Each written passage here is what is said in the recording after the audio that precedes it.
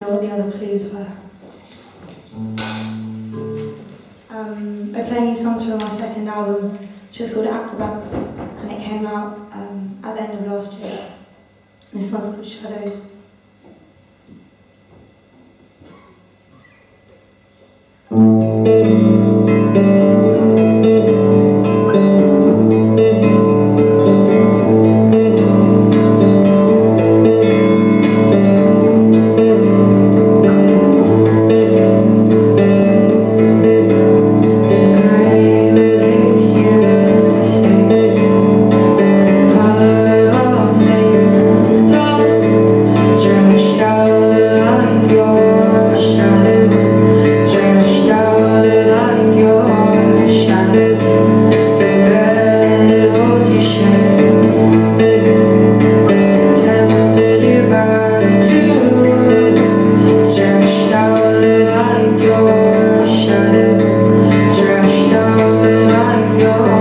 shadow.